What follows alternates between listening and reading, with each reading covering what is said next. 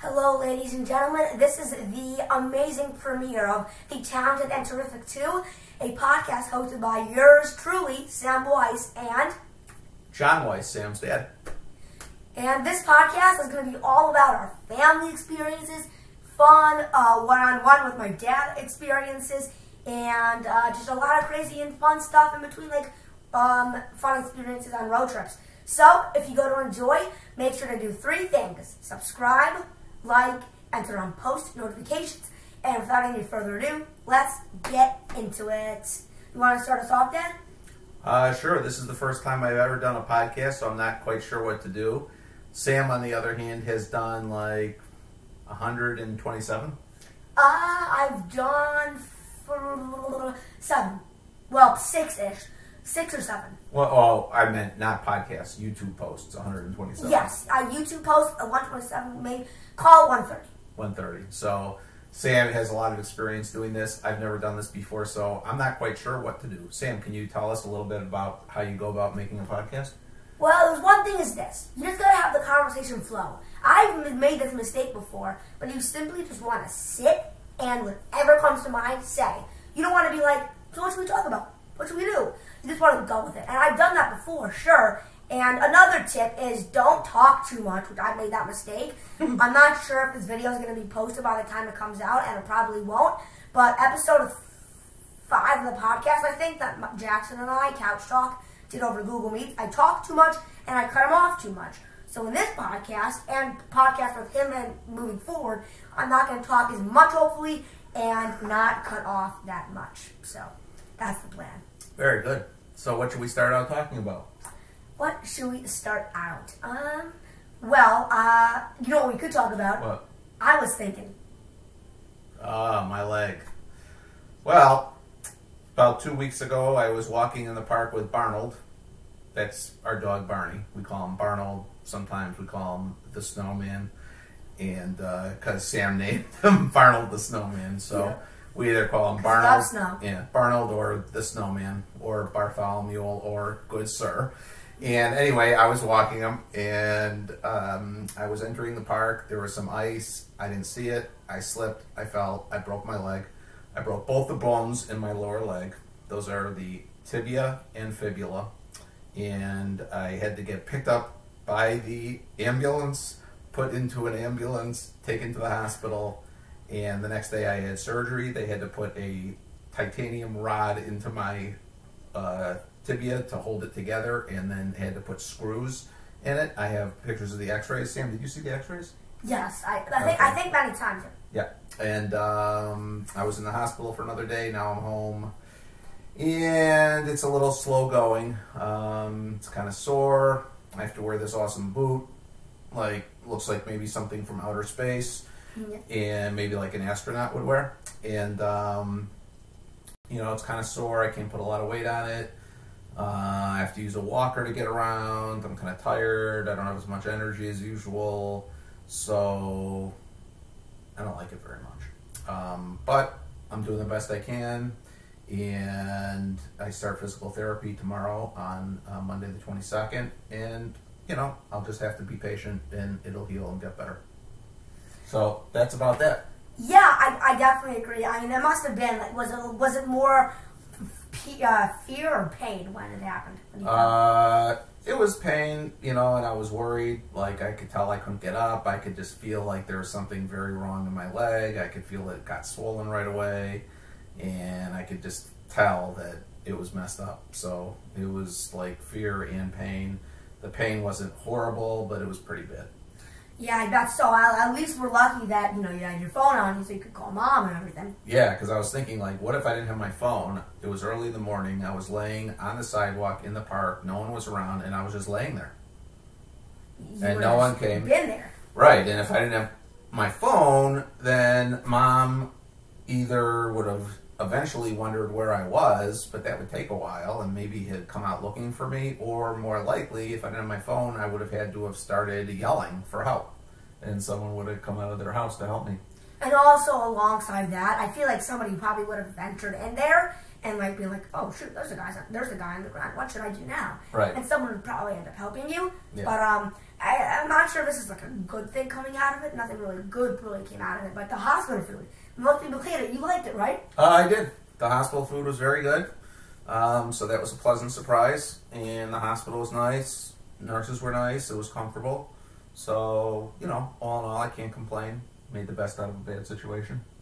Yes, that's I, that's yeah, I agree. I mean, he's been he's been a great uh, a great patient Yeah. for mom and I. Uh, it's definitely been different. We, you know, uh, it's it, it hasn't been. I'm not. I don't want to say fun. I want to say more or less like active. I guess Right. in a way that not even like you know active like biking, playing, you know, running, tennis. Uh, I feel like more or less like doing things together, but we still get to do fun things like watch movies, watch TV shows. Dad and I watching Breaking Bad together, and you know he sometimes comes downstairs for dinner. We may do that t- tonight. He's not feeling great. We may not. Uh, but um, just sitting around and talking. yeah, sitting around and talking just like we are doing now. Making podcasts. This is one good thing. Our first podcast together. Yeah, I mean, I, I wonder how much you know. Maybe we'll eventually branch out and when his his uh um whole situation his leg. Right. Eventually, we'll, we'll continue doing podcasts. Um, you know, until I, I don't know when. Maybe you know, I've been thinking about like couch talk with Jackson lately. Like, are we gonna do that for only a little bit and make it off the air? Like, let's talk about that with Sam and Jackson, which actually went off the air for a reason, not just because we wanted to end it because it didn't work out really. But um, I mean, you know, maybe are we gonna do it until high school, college, farther, thousands of episodes like the Joe Rogan Experience podcast, which has been going since December twenty fourth, two thousand and nine, and is going in Wow. still today, I believe, or I think it may have ended February twenty third. I'm not sure, but um, yeah, I mean, all, all in all, I just want to see what the road takes us with podcasts, with swag, and everything in between. Yeah, maybe like if we keep doing the podcast, like in a couple of months, we'll say, "Hey, remember when my leg was broken? Look now, it's normal. I can walk, and everything's back to normal." Yeah, that's true, and I feel like a good way to like want to like for the viewers to really want another podcast would be usually, ladies and gentlemen, each podcast will be uploaded once a week. So Couch Talk on Fridays, Real Talk with Sam Weiss, it's the solo podcast just with me on Saturdays, and then the Talented and Terrific Two, this thing, um, will you know be on Sundays. Sundays. Sundays, every Okay. Sunday. So we'll we'll probably record. You think one episode every Sunday? Yeah, one episode every Sunday, and uh, ladies and gentlemen, you'll be able to see the progression I make in healing on my leg. Yes, it'll be to look- recorded. it's like a little bit of suspense and something to look forward to. Like I'll say, "Hey, this week this happened," and we'll see. You know when I can start walking normal again and stuff like that. Yeah, I, def- I, I definitely agree with you on that one, and I'm, I'm definitely happy that I'm having so many podcasts with the one with Jackson, the solo, the one with my dad. It's a lot, um, and my mom on, on her topic. Um, we m- we may end up um, either having her on and changing the name to like, I guess the Talented and Terrific Three because that's still in a good relation. It's Or she may relation. she may just want to be a, a special guest one day. Yeah, I was also gonna say we could have a guest star. Either she could come in here, or we could do what, we did with the Jax, the episode five, I believe, of the couch talk. We could Oh, always with Hudson. we could we could always do a um a Google Meet screen record, and she could do it on she could do it on her email. I could give you the link, but You think the snowman could be a special guest? Barney maybe. I mean, he'll probably just sit here, you know, try to lick me Right. to death. But uh, I don't know. We'll have to see. So. Yeah. Uh, and a thing with the a thing with the podcast is well, actually, never mind. What are your thoughts on podcasts, like overall? Um, I think they're really good and interesting. Um, you don't have to watch them. You could just listen to them if you want, or you can watch them because uh, Sam's podcasts are both in video and audio, so you can watch and listen, or you could just listen. You don't even have to be watching it. Um, and it's you know a little more interesting sometimes than just watching TV or a movie because you get to hear people just talking, not being on a script or anything like that, and just saying what's on their mind. And like Sam said, just whatever comes to their mind and just saying it and talking about all different diverse topics and not having to have a special theme or a special script uh, or one single storyline like a movie or a TV show does. So it's more like creative, and um, it could be a lot more fun to listen to because you never know what you're going to get. Yeah, I definitely agree. It's about the chocolate. You never know what you're gonna get. Right. Forrest Gump. Forrest Gump. Uh, I definitely agree. I feel like you really just gotta go with the flow. Just gotta go with what's happening, and you can't re- you can't really be like just I guess like holding on for something. Like you should make it natural. You shouldn't be like like you shouldn't be like oh what, what am I gonna talk about? Uh, should I stop? Should I continue? Should I get to this certain time period? What should I do? You shouldn't want to be getting to a certain time period. Like I know after um, Real Talk with Sam Weiss in the first episode, I wanted to get to an hour. Sure, that's that's, that's the premiere of the podcast. But you you really, I guess, what I'm trying to say is you don't want to have a set thing for you. You want to have it all natural. Yeah, I uh, I agree with that. Um, you just uh, just have a natural conversation, um, and uh, sometimes the viewers can even say if they want to hear about a certain topic. Actually, no, because No. my comments are turned off. Oh, right. Because of Actually, no. comments. Right. Um, but maybe uh, I can. I tried turning the comments on just for the podcasts, but it, it didn't really work. I think you need them on, I- either on all the time or on off the time, or or off all the time. And I don't think that's really gonna work. So. Um, well, um, trying to think if we want to talk about like maybe what movie me and mom are going to watch tonight. Sure. Um, I was thinking about on Amazon Prime. I think it would be a good family movie. It's called Herself. It got really good reviews, and it's about a mom who like has an abusive husband and leaves with the two kids and fights for custody of the two kids and builds her own house for her family. so is, is, is it like a drama or like a horror or what? what, what, No, kind of more more like a drama. Yeah, more of like a, a drama type of movie. Yeah, that, that's that does sound actually pretty appealing. I've um I was gonna look on Rotten Tomatoes, which is a site that is good for reviewing movies and stuff like that and TV shows. Uh, and I actually have my Rotten Tomatoes account linked in the in the description of my channel. If you go to Hey Sam, how many um, Rotten Tomato reviews have you done? um, I think like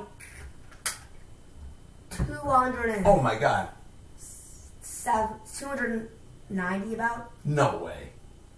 I yes yes way. Wow, that is a lot of reviews. That's amazing. So that means you've seen 290 movies slash TV shows that you've reviewed. Definitely more. I can't remember, of course, Yeah. from the ones I watched when I was younger. And what I was saying was, in my about section in my of my channel, you can go and all my social media accounts are linked there. Um, I have, uh, of course, I have my TikTok account and I have my Goodreads account and my Rotten Tomatoes account. Make sure to go click on all those 30 minutes, especially Rotten Tomatoes. You can find my uh, almost 290. I know it's at least 285.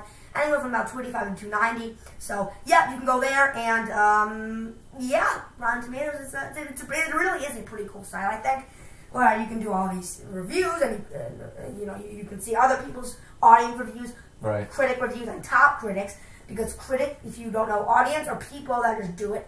Critics are people that um not that they don't necessarily work there, but they're like you know like you know people that are in the movie and show business. Yeah, that like have, critics that review uh, in newspapers and yeah, magazines. that like have that right, and then there's top critics, which are people that work for Rotten Tomatoes that do that review on not like in general on Rotten Tomatoes for Oh. a living. They're top critics. and that's how you get certified fresh. No, what, do you mean? How, do, how does a movie get rated certified fresh? Uh, well, actually, I've I've when I looked into it on Rotten Tomatoes, it's like there's like what's Rotten Tomatoes, and it turns out that to be cert well, uh, I'll start a little back, I suppose. To be rotten, you need a status of less than sixty, less than sixty positive overall reviews. It's out of five stars usually. For audience, it's out of five. Where I believe, if I'm not mistaken, it's um zero to one star. So half a star and one star, maybe one and a half stars is oof, that was rotten. Either one and a half or two to three. I think one and a half. I think one and a half to three. So I think half a star and one star oof, that was rotten. One and a half to two and a half, three, I believe, is meh. At three and a half is it was good. I'd recommend it. Four and four and a half is awesome, and five is um, cert, uh, cert, like certified fresh, uh, must like certified fresh, like uh, certified fresh mm, must see or something like that. And if it's less than 60, it's rotten, which is usually the accumulated scores. Like if like there's like 23 out of fives, uh, 63 and a half, 17 fours, it just depends, whatever that is. If it's less than 60, it's rotten, which is a green splat in display. It's rotten. Okay. Now, if it's just, I don't even know what it means. Not even if it's fresh, not so certified fresh, fresh. That usually means in the range of 60 to 75 or 60 to 74, I guess, which is where it's nothing any unusual, just positive ratings that accumulate to an average score of 60, 75, or 74. And certified fresh is a is accumulated score of 75 plus. With it has to be as good reviews from at least five top critics, I think. Um, it has to stay at 75 for like a certain. It has to stay stay for a certain while, and it has to have these certain little trinkets to it. Um, so yeah, Maybe certified fresh is a really good movie, and it don't even if it says like 70 or something that seems good, that is not always good. That can be hundreds of bad reviews and hundreds of good reviews. It just really Right. depends. What do you think it means if like a movie has a really high Rotten Tomato rating, like certified fresh, 93, 94, 98, but then the audience score is much lower, like 60 or 70? I was hoping you would ask me that actually because uh, there's, I think there's a good definitive answer to this question. Okay. I feel like the movie critics take movies more seriously. I'll give you an example. Kajillionaire, amazing movie. You probably heard Jackson and I talk about it on episode one of Couch Talk, which is about three three-ish weeks ago, a little north of that. And it had about 89 Rotten Tomatoes, so certified fresh all the way by the critics, and I think someone in the 50s or 40s from the audience. Really? Ah. Now, reason being, I believe the reason for this is simply being that the critic, that the critics take movies more seriously. They know they know more about them, and they take it more to heart. The audience likes the the difference between the audience and critics is the audience does not care how the movie is made. If, for instance, it's an Adam Sandler movie, those movies can be great, amazing, whoop whoop hooray, like Big Daddy, uh, or uh, you know, you know movie, the, ni- Yeah. the '99, Big Daddy. Uh, a, a lot of other Sandler movies like Murder Mystery, uh, Uncut Gems, which actually got a great rating from the critics and a bad- Uncut Gems was awesome. that got great from the critics and bad from the audience. Really? Yeah, and um, all I'm saying is, is that the audience doesn't care how it's made. If it's made crappy, as long as it let, g- give some few laughs, it's just a okay. But the Uncut Gems was not a comedy. No, no. Yeah. And but the critics look for something that is more outright uh, well made. Um, that's why they really liked Kajillionaire. They thought it was a good, outright, well plotted movie, and a lot of people do not get what the movie's portraying. A lot of people see a family of con artists with a dumb storyline that has no meaning. That's why the audience reviews is that low. I'm one of the only reviewers that gave it a fresh five out of five. A handful gave it three and four. A handful gave it uh, two or less. But I'm probably going to select five to ten, maybe fifteen people that gave it a nice, certified, fresh, must see of a five out of five, 100% star rating. People, the, it, it really, some people just don't get it, but the critics, they do, and I did, and it's so did Jackson. Yeah, I liked it too. Yeah. I can't remember it that well. I sort of remember, and she kind of breaks away from her family and falls in love with another woman. Is that right? Yeah, I, I'm not sure. I was I was asking you if they were lesbian, and you didn't. I, I don't think you said yes. Were they? Because they were like kissing at the end. Like, well, if they were kissing, then yeah. I mean, um, but then did the family come into the apartment and steal everything at the end? Every single drop like that. But didn't they leave some money behind or something? Yeah, it like resembled like her one Old Dolio's one third of a share, like exactly like five twenty or something. Which what did that And what, was her name in the movie? Old Dolio. Old Dolio. Right. And it, I think the five, like 20, whatever her third was, came out to all the birthday gifts they bought her. So it resembled something, but it really Right. was not good that they stole everything from the other girl. Uh, I think it was like Melanie's apartment. Right. So Right. that, that, that definitely was not a uh, top tier thing uh, at all. So Yeah. But yeah, that was a really good movie. yeah, it definitely was a good movie. Uh, Do you want to tell the fans about how you how you like Breaking Bad so much? Because I've talked about it a ton on the channel, and they're probably going to. Um, I yeah, I really like it. Um, I started watching it like a while ago, probably probably like two years ago, and then I stopped, and I just never got back to it, and I'm not sure exactly why. But now that Sam is caught up with me, ahead actually. actually ahead, have you watched any since the last time we watched together? Nope. Good. All right. So um, I just have to catch up like two episodes, and then I'll be at the same episode as Sam, and we I think will it's five. and we'll cross the finish line together. Yes, we'll cross the finish line and see if Walt gets killed, if uh, Jesse gets killed, if I guess I was thinking Walt might might Walt might kill Hank or something. What are your predictions about the, about some characters like Walt and Jesse? What do you think's gonna happen to them?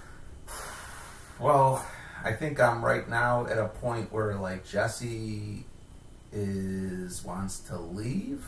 Yeah, And, yeah. and uh, but I don't think Walt's gonna let him. Walt's gonna convince him to stay, and I think that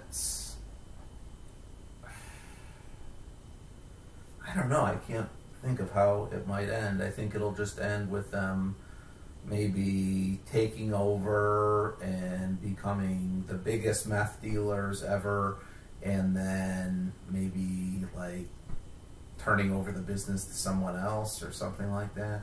I'm not sure. I was thinking something of that sort. I mean, I feel like Walt will kill Hank. hmm That would be interesting. He'll become ruthless, even though he loves Hank so much. I, no, he'd probably kill him. And I think with Walt and Jesse. I feel like maybe Jesse will like carry on the well, legacy. he has he I has feel- to I feel like on Walt because isn't there another show just with Jesse in it? It's called El Camino. El Camino. It's a movie, So he probably does live on. If which was, means if I, I, Walt dies, it might, yeah. Where where did you see that? I think I saw it by like accident or something like that. I just, I just know there. I saw it El Camino and that he was in it. like a commercial or something. No, like on you know when you're looking at the on demands and it has like a little square, and, but I didn't really pay much attention. to Yeah. Sam, I saw that. and I think I just heard about it. So apparently, maybe Jesse carries on the business and Walt dies, or he tries to like Maybe Jesse kills Walt. maybe because I mean, you know, Jesse has been it's it's been a tight with Walt, and really Walt's taking advantage of Jesse the whole series. He's never really cared for him. No, I he's, mean- he's always been fair to him. Yeah, I guess, but he's taking he's taking advantage of him now. He like he poisoned Brock. Brock. Yeah. Which one's Brock? We do like a poison, remember? Oh, the uh, the guy they brought in to substitute in for Jesse. No, it's a kid. Remember? Jesse's dating that like uh that that person. No, Walt had nothing to do with it. She just died from an overdose in her sleep. I thought. No, no, no, no, no, no. Whoa. The girlfriend? No, uh, the girlfriend of Jesse. Yeah. The other one. Later on.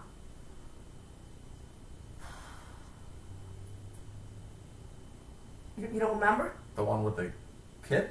Yeah, Brock. That dude got poisoned and killed, and Walt said he didn't do it, and he betray- he betrayed him because he had the ricin, but he did it with like something else. Oh, the ricin. Yeah, remember?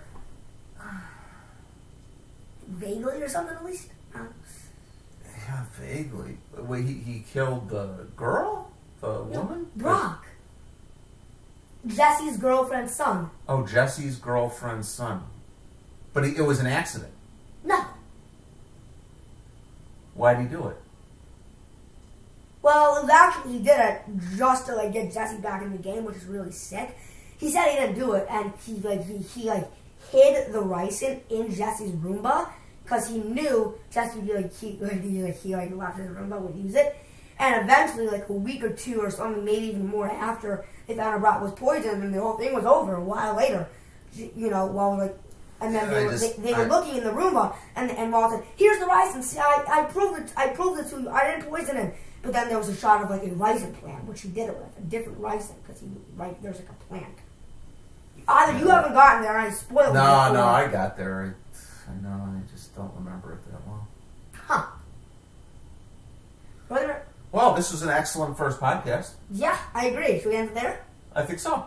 Okay, ladies and gentlemen. Why, why don't you wrap it up and take us home? Sure, that and gentlemen, we're gonna go on home, and that was episode one of The Talented and Terrific 2. If you want to enjoy, subscribe, like, and make sure to hit that notification bell. And Dad, do you have any uh, closing lines? Uh, it's been a pleasure, Sam. Thank you for introducing me to the podcast world, and I look forward to doing many more. Yeah, well, I'll see you guys in one week from today on March the. Give me a minute. Uh, March the 29th, we should be back for podcast episode 2. And without any further ado, that was the end, baby. Subscribe, like, and turn on post notifications. And we'll see you guys very, soon. Bye, Bye, guys. guys.